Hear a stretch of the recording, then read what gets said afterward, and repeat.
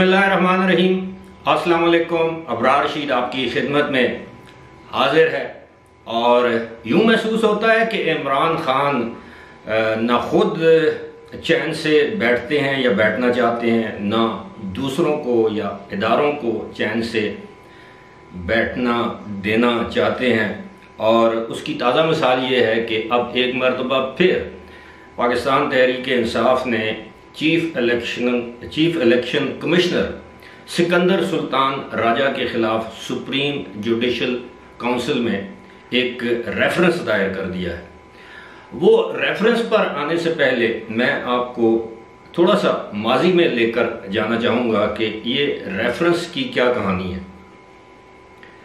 जुलाई में ये रेफरेंस दायर किया गया था। आपको याद हो कि अगस्त में वो फैसला मुतव था वो फॉरेन फंडिंग केस वाला तो जुलाई में ये रेफरेंस दायर कर दिया गया सुप्रीम जुडिशल काउंसिल में कि जनाब, ये हमारे खिलाफ इंतकामी कार्रवाइयाँ कर रहे हैं ताकि उस आने वाले फैसले के खिलाफ कोई बयानिया बनाया जाए या उसको मौखर किया जाए। बिल आखिर अगस्त में अगर आपको याद हो तो वो फैसला आ गया। और अगस्त में ही पीटीआई ने वो रेफरेंस वापस ले लिया सुप्रीम जुडिशल काउंसिल से। कि इसमें हम कुछ मज़ीद चीज़ें ऐड करना चाहते हैं। उनके ख़िलाफ़ मज़ीद दस्तावेजी सबूत सामने आए हैं तो वो हम। अब ये रेफरेंस दोबारा दायर किया गया है। इस रेफरेंस में ये रेफरेंस दायर किया है पीटीआई के एक सीनियर रहनमा हैं एजाज अहमद चौधरी, जो कि सेनेटर भी हैं। उन्होंने ये रेफरेंस दायर किया है बजरिया बाबर अवान, जो वकील हैं पीटीआई के। और उसमें ये मौक़ इख्तियार किया गया है कि चीफ इलेक्शन कमिश्नर जो हैं वो मौजूदा हैसियत में, यानी इस पोस्ट पर रहने के लिए मौजू नहीं है फिट नहीं है। अब फिट किस हवाले से नहीं है? अब पता नहीं, फिज़िकली फ़िट नहीं है, मेंटली फ़िट नहीं है। और ये कि जनाब वो पीटीआई और पीटीआई के चेयरमैन इमरान खान के ख़िलाफ़ एक ग्रज एक बोझ रखते हैं, दुश्मनी रखते हैं, इंतकाम कर रहे हैं, इंतकाम की बुनियाद पर। और उनके जो केसेस हैं, वो तसब की बुनियाद पर सुने जा रहे हैं, ये सुने नहीं जा रहे। अब इसका बैकग्राउंड तो थोड़ा सा मैंने आपको बता दिया। अब ये रेफरेंस क्यों दायर किया जा रहा है कि आप पीटीआई को मालूम है कि तोशा खाना एक केस है जिसका फैसला इलेक्शन कमीशन ने महफूज किया हुआ है। और मेरा ख्याल है पाकिस्तान में जो वायद महफूज चीज़ होती है, वो फैसले होते हैं। बहुत से फैसले बहुत तवील अरसे तक महफूज रखे जाते हैं। लेकिन अब इम्कान ये है कि वो फैसला एक दो दिन में आने वाला है। शायद आज आ जाए, कल आ जाए, दो दिन बाद आ जाए। तो उस फैसले से पहले ये मौक़ इख्तियार किया गया हालाँकि आप यकीन कीजिए कि चीफ इलेक्शन कमिश्नर के खिलाफ पीटीआई के पास कोई सबूत नहीं ही इज़, जैसे कहते हैं कि एक जैसे कहते हैं incredible personality impeccable record as a bureaucrat as a chief election commissioner अभी आप हाल ही में अंदाज़ा लगाएँ, अगर चीफ इलेक्शन कमिश्नर या इलेक्शन कमीशन कोई मुदाखलत करता तो उसके शवायद सामने आते, ये जो इलेक्शन हुए, अब छः सीटें आप जीते हैं, उन पर आप जश्न मना रहे हैं, एक सीट आप हारे हैं कराची वाली, आप कहते हैं, वहाँ पे धानली हुई है, जहाँ पे आप हारे, वहाँ पे धानली जहाँ पे आप जीते तो इलेक्शन कमीशन के मामला ठीक है। सारी कौम जानती है कि इलेक्शन कमीशन एक आज़ाद अदारा है। माजी में उस पर बहुत से सवाल किए गए और बिल्कुल दुरुस्त सवाल थे। अब इलेक्शन कमीशन के ऊपर कोई सियासी जमात जो है, वो उंगली नहीं उठा सकती। अलबत् एक बात पर हम जैसे लोग उंगलियाँ उठाते हैं क्वेश्चन करते हैं कि जनाब आप फैसले महफूज करते हैं, फिर उसके बाद ये कितना बड़ा केस है, कितने बड़ा फैसला है जो आपने लिखना है? अब फौरी तौर पर उसका शॉर्ट ऑर्डर दे दें, तफसीली फैसला बाद में दे दें। अब ये चूँकि ये फैसला आना है तो इस लिहाज से अब वो एक मरतबा फिर सुप्रीम जुडिशल काउंसिल में चले गए हैं। और जिस तरह मैंने बताया, वहाँ पर तो शहादतें वहाँ पर जरा होती है, आप पर। अब आप कहते हैं जी इलेक्शन कमिश्नर आपके खिलाफ, चीफ इलेक्शन कमिश्नर आपके खिलाफ बोझ रखते हैं, ये इलेक्शन कमीशन के अरकान तासुब बरतते हैं आपके साथ। तो चीफ इलेक्शन कमिश्नर को तो जितना आपने भड़काया या उकसाया या उकसाने की कोशिश की, आपने उनको जलील तक कहकर पुकारा, बेशरम कहकर पुकारा। आपने कहा कि वो मरियम नवाज़ के कदमों में बैठने वाला है। इस तरह के अल्फाज आपने जलसों में इस्तेमाल किए उनके खिलाफ, लेकिन उनकी तरफ़ से कोई बयान सामने नहीं आया। क्योंकि उन्हें मालूम है जो उन्होंने काम करना है, कानून और आइन की रोशनी में वो करना है, और अब आपको नज़र आ रहा है कि आप तोशा खाना केस में घेरे में आ सकते हैं। तो आपने ये काम शुरू कर। इमरान खान की एक नेचर है, एक फितरत है।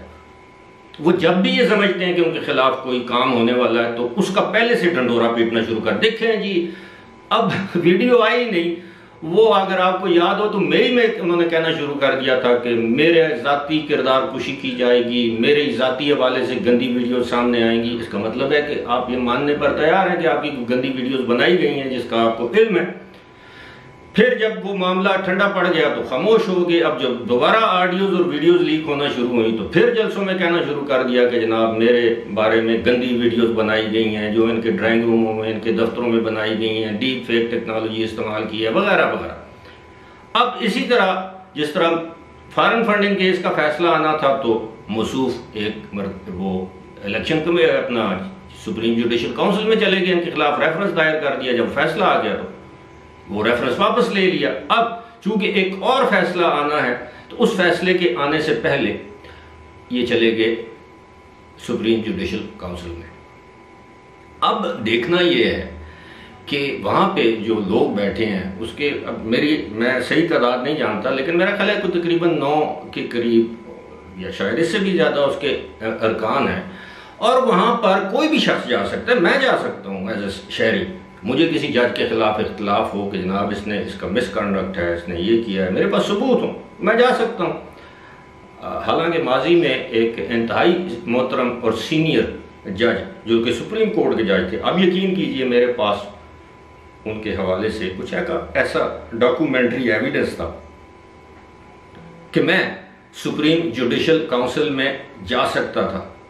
लेकिन मैंने कहा कि मैं एक जर्नलिस्ट हूँ, मेरा ये काम नहीं है। कि कौन?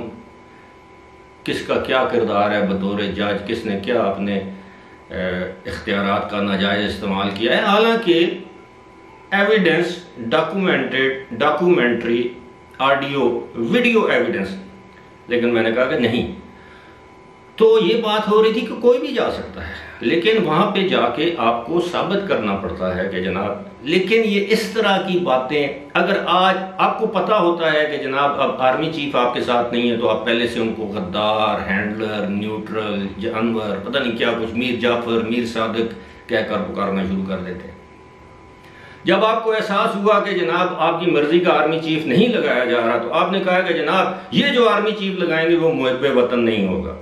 और उससे फिर आपकी जो सुबकी हुई, शर्मिंदगी हुई, जो जो रद्दमल आपको देखना पड़ा, वो सबके सामने है। अब चूँकि आपको पता है कि अब इलेक्शन कमीशन ने आज नहीं तो एक हफ़्ते बाद आप के हक में ही आपके खिलाफ फैसला करना है, और आपको पता है कि तोशा खाना केस जो है वो ओपन एंड शट केस है। हम उस पर कोई पेशन गोई तो नहीं कर सकते। लेकिन बादियों नज़र में, यही है कि इलेक्शन कमीशन आपको नाहल करार दे सकता है तो आपने पहले ही एक बंद बाँध दिया कि जनाब ये, वो चीफ इलेक्शन कमिश्नर इस तरह है, इस तरह है, हमारे खिलाफ इंतकामी कार्रवाइयों में मुलवस है और इसके नीचे तो आज़ादाना इलेक्शन हो ही नहीं सकते। ये जो जुलाई में जो इंतबात हुए पंजाब में, वो भी इन्हीं के नीचे हुए जो आप जीत गए। अभी जो 16 अक्टूबर को जो इंतखब हुआ, पूरे पाक जो खैबर पख्तूनख्वा पंजाब और सिंध में, कराची में, वो भी आप जीत गए। तो अगर इलेक्शन कमीशन जानबदार होता तो वो आपको जीतने देता। अगर वो आपके खिलाफ कोई बोझ या अनाद रखता तो आप इतनी सीटें जीत सकते थे। माजी में हमने देखा है ना कि किस तरह पोलिंग हो जाए, वोट जिसको मर्ज़ी है पड़े, लेकिन उसके बाद जो रिज़ल्ट अनाउंस होते हैं, फिर जितना अरसा, जो इतनी अरसा जो टर्म होती है असेंबली की, वो आप फिर अदालतों में ट्रिब्यूनल्स में भुगतते रहते हैं। ऐसा नहीं है। लेकिन ये कौम को समझने की ज़रूरत है कि ऐसा क्यों किया जाता है? बहरहाल, ये आप सोचें, खुद फैसला करें कि ऐसा क्यों किया गया है। फ़िलहाल मुझे दीजिए इजाज़त। खुदा हाफिज़।